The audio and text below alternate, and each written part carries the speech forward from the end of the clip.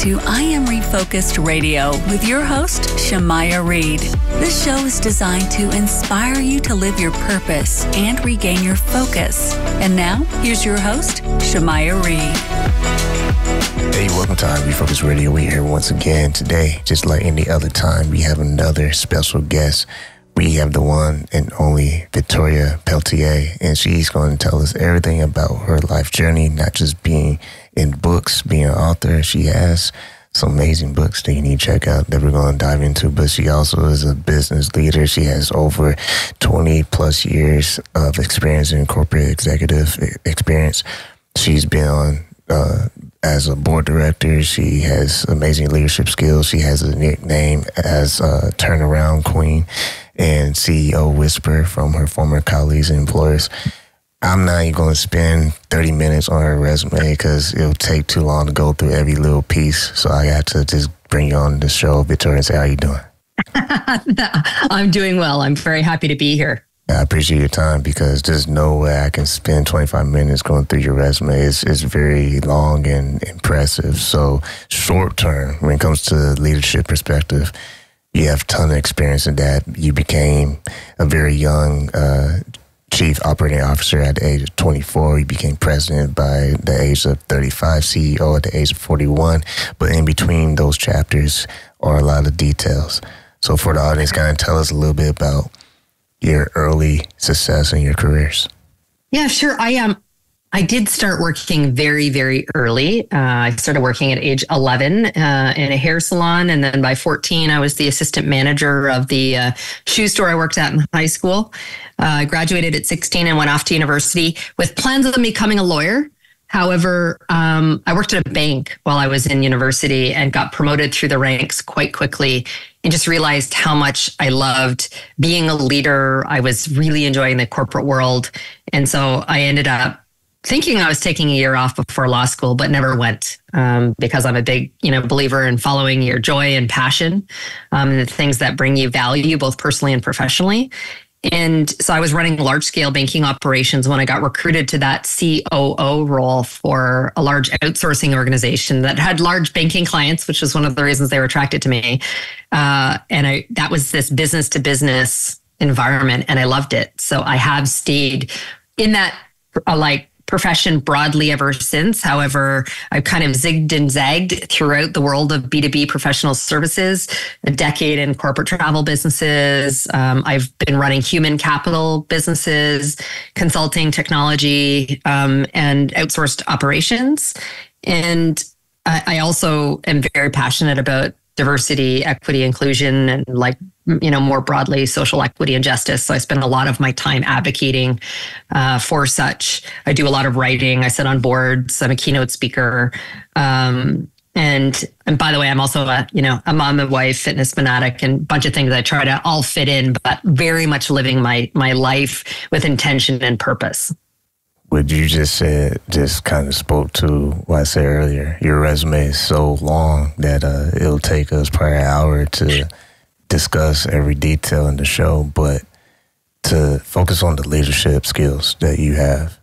You became a CEO at age 30, uh, excuse me, 41, but you had a lot of insight and a lot of strategies and principles along the way that you, you know, held close to you. Kind of touch on that, the audience. How did those uh, different strategies and principles help pave the way to your leadership role as a CEO?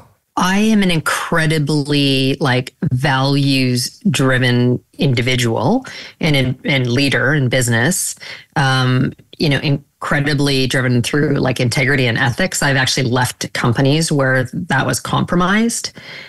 However, I, I, will actually state, I mean, it wasn't all like sunshine and roses. I um, I had to pivot at one point. I learned in my mid to late 20s that I had a nickname as the Iron Maiden um, at work. And that's, you know, at first I was like, oh, well, that's unfortunate. But I figured it was a result of the fact that I I had very successfully like turned around the business, strong performance management, had to make really tough business decisions. But what I actually realized later was that um, my fears and insecurities um, as a human and as a young female leader um, never allowed me to show any emotions or, or, or any kind of vulnerability. You know, as a you know 24 year old executive, the only woman um, and probably two decades younger than everyone else. And that remained the same for a long time. I'm still actually one of very few women. Um, uh, the age has caught, caught up, but um, I was afraid I didn't want to give anyone any reason to question me. And so my leadership style has evolved into what I now refer to as more of a whole human leadership approach. So beyond being values driven, focused on doing the right thing and being incredibly operating with an incredible amount of integrity and ethics. I also very much focus on being the kind of leader I'd want to work for. And that means being um, authentic, uh, being incredibly transparent with communications to the extent that I can. Sometimes there's some things that can't be shared, but otherwise giving people clarity around why we're making the decisions we're making. Uh, I've learned to be much more vulnerable, telling I had a pretty horrible childhood and backstory. That's part of why I focused on being so strong from a work perspective. I could control what happened at work. I couldn't control what happened outside of it. And so sharing that to give people um, the sense of like that there's safety and creating vulnerability, that there's a sense of belonging and inclusion that they can bring their whole selves to work. Though, but that wasn't that wasn't natural for me. Um, and so I had to lean into the things that made me really uncomfortable and talking about and sharing emotions, sharing, um, you know, some of the vulnerable moments wasn't comfortable. But I truly think that if you're not challenging yourself and leaning into what makes you uncomfortable, the growth um, is not going to come. Being uncomfortable is a sign of two things. Is a sign of what you just said, growth opportunity, is a sign for maybe in some situations, that's time for change. It's time for something to be adjusted. You know, your mindset, you know, whatever it is that's holding you back. Usually it it could be ourselves. It could be our past. It could be, it could be any numerous things. For you, you mentioned about your younger self. What were some of the things that you had to overcome in your younger self that put you in position to where you are today? I'm um I was born to a, a drug addicted teenage mother who was very abusive to me. Um, pushed upstairs, downstairs. I had a cigarette in my eye that I wore a patch for for months. That was a an act of carelessness, not intention, but that was very just very typical of life with Julie, my biological mother. And so I was in and out of the child welfare system. She'd put me up. I think I was taken away. And then I'm fortunate, however, that a couple that she often gave me to after one of these episodes, after a few times of this happening, they asked to adopt me, to take me away from her. And she agreed. Um, but I was scarred both literally and figuratively. I was this, even though I actually I was adopted at like around age four, so it's not like I was only with her for a handful of years, but I definitely remember all of them. Um, but knowing that a mother could do that, and then knowing that a mother could let me go, and then as I aged and I realized that none of her her mother, her sisters, no one on that, no one, they knew what was going on and let it happen. Like, and no one took me in. Like, so I, I've lived with this self doubt and um, feelings of rejection for a long time. My mom, my mom being the woman that raised me was incredible and spent a lot of time getting me to f- be really self aware and self reflective around why I was feeling and acting the way I was. Um, uh, but uh, I was uh, lower socioeconomic home. So my dad was a janitor, my mom was a secretary, and my mom said to me at um, probably age eleven, she's like, "Tori, you need you need to do better than us." And she was just trying to push me from an education standpoint. Although I did fairly well, I skipped a couple grades, but she also wanted to make sure vocationally I went down a very different path. But she didn't need to say that because um, the biology and the circumstance are what I actually attribute pretty significantly to being my why and the creation of my drive. I was determined I will be better than biology or circumstance. Um, and so that's what really kind of propelled propelled me forward. And I had lots of other adversities. I was raped in my teens. There was just a number of other things that happened. It's, but I developed a, an incredible amount of resilience in a much healthier way than I had as a child.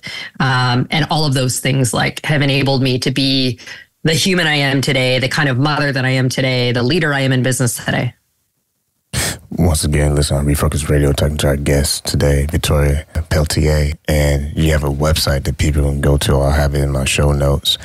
But touch on the fact that you are not just a businesswoman, not just a speaker, not just an author, but you also are passionate about uh, leadership and diversity.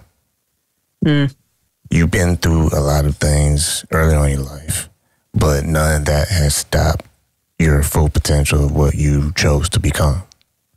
At what age did you notice that that drive was not going to be easily put out? I I don't know that I there was a particular age. I just feel like I rolled with the punches so much, and I was just determined that nothing was going to stop me. I feel like although I, I, talked about developing or having a healthy, healthier way of being resilient, um, I, I, still think there's a little bit of DNA some somehow in there, like fight or flight. I am a fighter. Yeah. Um, I sign a lot of my social media um, posts with hashtag unstoppable. Uh, and, and it's just that I think, you, know, from childhood, I don't know the age, but like I just, nothing was going to stop me. I was just going to like plow through, move through. And it probably wasn't really until my 20s where, um, you know, stepping into some of those senior roles and, you know, having some discrimination for a variety of reasons that I just like plowed through and was like, no, no, no, like screw this. Like I'm, I am doing it. You are not stopping me. It then be, became like part of my vernacular um, to talk about that and being like unstoppable and achieving everything I set my heart, you know, heart on, whatever goals or objectives those were.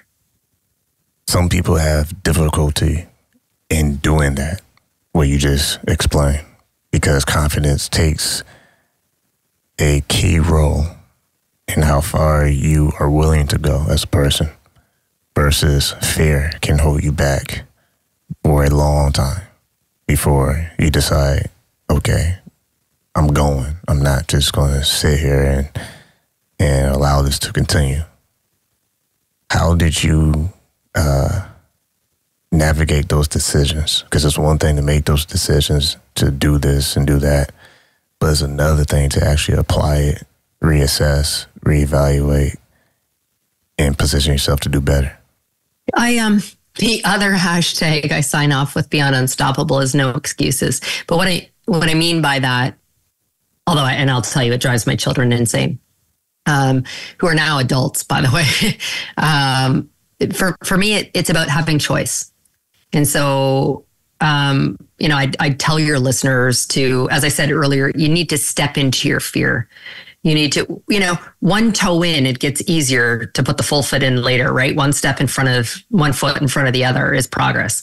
Um, so just, you need to like get comfortable with fear. There's um, a quote that I love by George Adair, and it says, Everything you've ever wanted lives on the other side of fear.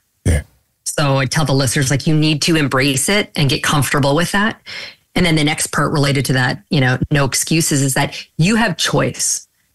Obstacles are going to come our way. Trauma or adversity might occur to us for which we're not in control over. What you are in control over is how you're going to move forward. And so even if you're on, let's say it's from a work perspective, you are on unhappy. You control what you can control. Try to change the situation. And at some point, no choice is a choice also. You don't get to continue to bitch about the situation if you make if there's no action. But you're the you're the CEO of your own life. Uh, and so you choose what's going to happen. And we can't control negative stuff is going to come our way. Again, how you choose to respond to it. I'm a deeply emotional person. My best friend has nicknamed me Turtle in that I have a very tough exterior, but I'm all soft and marshmallowy on the inside. Like I'm the t- type of person who cries at like the Humane Society commercials. So I'm, it's okay. Feel the emotion when stuff comes our way, but we then need to be strategically intentional of how we are going to move forward. You have won Mentor of the Year award in 2020. You have a passion, like I said earlier, for leadership and you have a story that backs it up.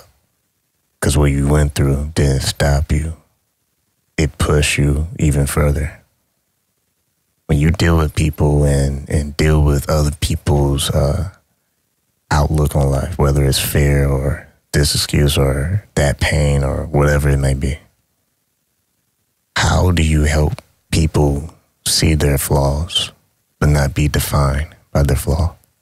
Uh, by yeah, this is about it talked about creating safe space and a sense of belonging. It's, you know, making, creating an environment where people can recognize that it's okay to talk about our unique experiences, um, whether you know that be like the lived experiences we've had, the worked experiences, etc. But that's what, like, that's in many cases that's pe- people's superpower. And so for me, I, I wouldn't have been as open about my my origin story, if you will, until probably about ten years ago. I, I told it certainly in like smaller settings. But one day it shifted for me when, you know, for International Women's Day, I was a keynote speaker and I decided to say it on a stage. And the amount of people that came like to talk to me afterwards and subsequently, you know, ask for some kind of mentorship I realized that by sharing my story, it could allow others to see themselves in me, my very different lived experience, maybe their trauma they might have experienced, but that you can get past it. And in my case, I've demonstrated that it has become my superpower. You know, me embracing, I don't, I live with no regrets. All that's happened to me is maybe who I am. So that's how I do it by talking to others, by sharing my own story, by encouraging and creating a safe space for them to talk about theirs and figure out how to shape it into part of their narrative and potentially their own superpower. And earlier you mentioned the word unstoppable. You have a book that's actually titled Unstoppable Stories of Change Makers Who Dare to Make a Difference. And you also have a book, Influence Unleashed. You being able to not just articulate your your story on stage or stages in corporate offices in mentorship programs, but also through writing as a publisher. I mean, you literally what your title says, unstoppable. Like you're doing all these things and you're doing it well. When you look at what you've been able to do, what is your core value or principles that has sustained your success? I, I mean, that's tough. I think my my nature um, and my like strive to be better, you know, today than I was yesterday um, is a big part of what has allowed me to have the success that I've had. I'm also a big believer um, in um, I describe myself as a multi potentialite. It's a very diverse interests and passions all around. But I'm a big subscriber to the fact that where there's conviction, there's capacity. And that means you make time and space for the things that have meaning for for you. So I've, you know, written books and um, you know, been a C-suite executive traveling in some cases like 90% of the time on the road. And I've been able to be a mother and I work out six days a week. At one point, I coach my kids' hockey team. Like I do all of those things, but I create the capacity to do it. And I'm able to do or have it all, which I don't really love when people ask me how that, because it, for me, it's work life integration. But I do that by making compromises and trade offs at the appropriate times. There's times where I've done that for my career, and there's times that I've done that for my family. But that ultimate drive to be better than I was the day before is most uniquely what um, has driven my success. Having that mindset at a young age. I remember you said earlier in the interview, I believe you said you was 11, when you was made aware that more is ahead from early, early on. You made a choice and you stuck with that. Why do you think for some people is they always put themselves uh, in the way? When it comes to their goals, when it comes to, you know, their dreams, when it comes to just being the best professional they can be. Why do you think that some people generally always put themselves in the way? Because it's hard work to do the alternative. Um, it's easy to blame circumstance. Mm. It's easy to blame others. Making a choice to put in the hard work and the effort, whether that's leaning into the things that make you fearful or uncomfortable, or whether it's, you know, not, I joke with people that there's your nine to five and then there's your five to nine. So those who want to start side hustles or have a passion project. Well, if you Netflix all night, that's a choice. You know, it's easy to sit on the couch and do that. It's hard to wake up for, as I said, I'm, I work out six days a week. The only time I do that is in the morning. It will not work for me to do it later. That means I make a choice. I go to bed early so that I can wake up at 5.30 or 6 a.m. or whatever I need to get into the gym. So I think people get in their way because it's far too easy yeah. to take no action or the easy action.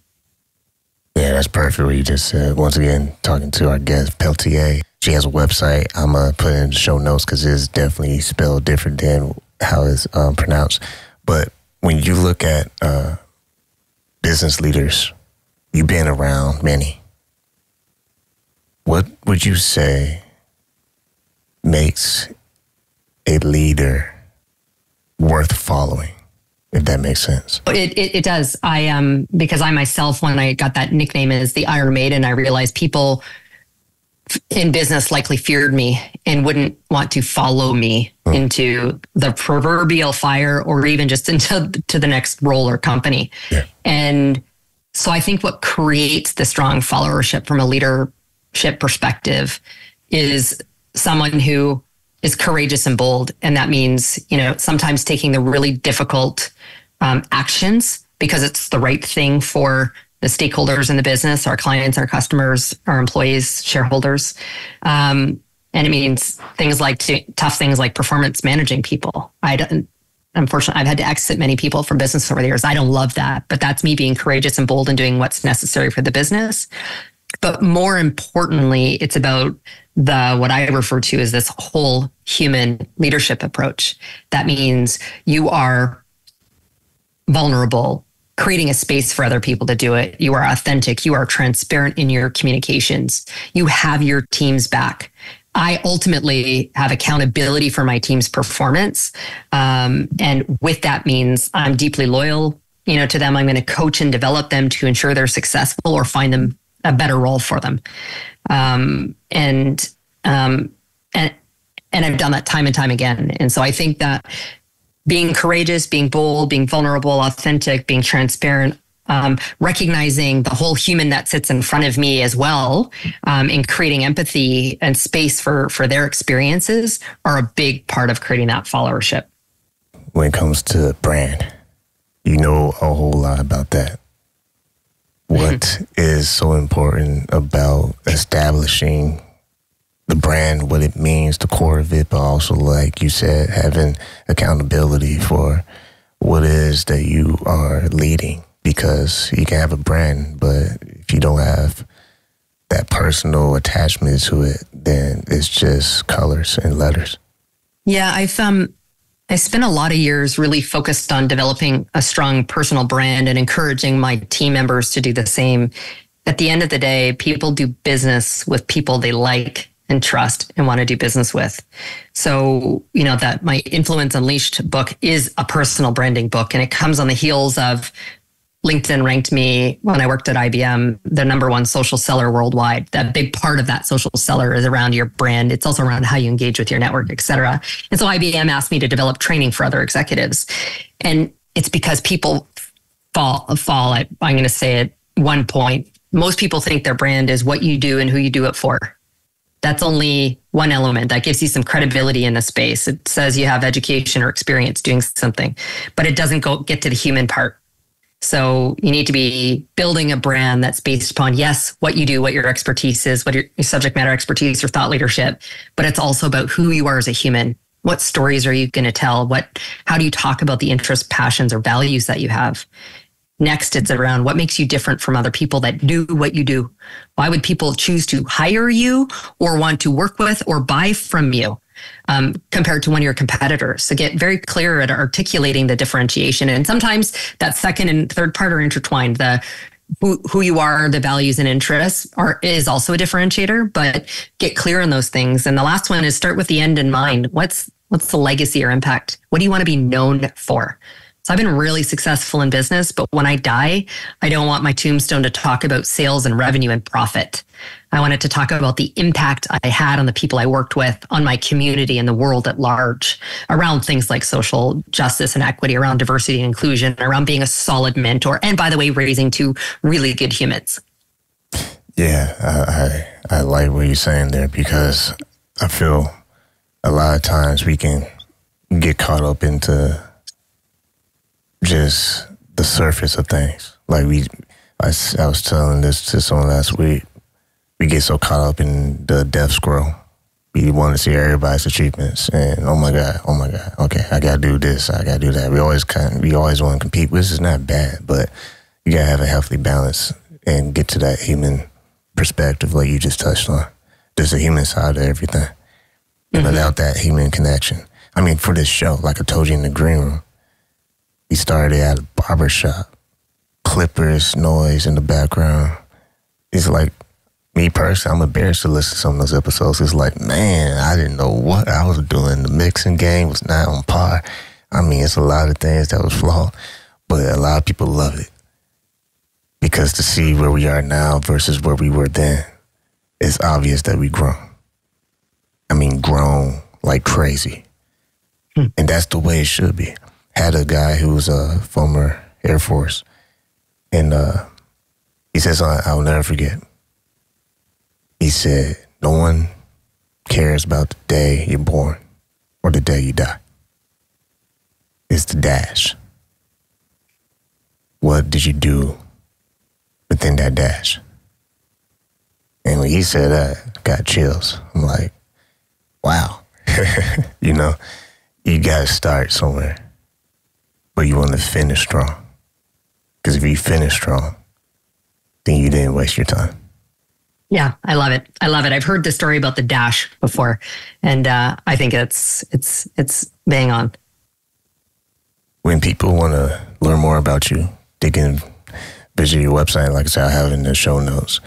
But uh, how can someone who's interested in seeing resources that you have available, what's the best way they can be in touch with you?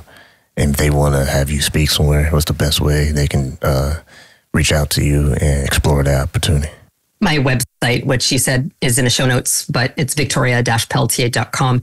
There, there's sample videos of me on stage and speaking, although hopefully you're, um, you know, through the listeners today, they're getting a sense of that. But a lot of the, the, the content I write is shared there. So they can go to the, to the website, connect with me from there, or link out and connect with me on the various different social media platforms from that site. I know I'm, I'm bad at saying last question because I always get new ideas when I hear the guest talk, but I promise the last one. But still early in the new year, if you had a message for young entrepreneurs or even those who work, you know, they're trying to work up the corporate ladder, what would your message be to any individual out there who wants to be like you in your personal story, striving for the best version of themselves, what would your message be to that individual? There, that there is no better time than now. As I said, you know, they're everyone's the you know the CEO of their own life and, and career, and so design it the way you want it. Don't let anyone confine you and tell you how far or wide you may or may not go. You create the your own version of what unstoppable means for you, and take action now you know no excuses. Like think about that. Like there's no stop waiting for the perfect time. There isn't. Let, let's just move forward. I'd encourage them to like embrace the new year. I'm not one who, does new year's resolutions but like just embrace it. The time is now. It's still like a there's still a bit of a reset at this at the start of the year. So set the intention and take action. We've been talking to Victoria Pelletier, and you go to her website. It's going to be in the show notes, but it's victoria-pelletier.com. And I love what you said moments ago because if, if people don't start now, like it's been said, part in the legends, tomorrow may never come. So you have now. That's what you do have guaranteed. So once again, Victoria, I want to say thank you for your time. Thank you.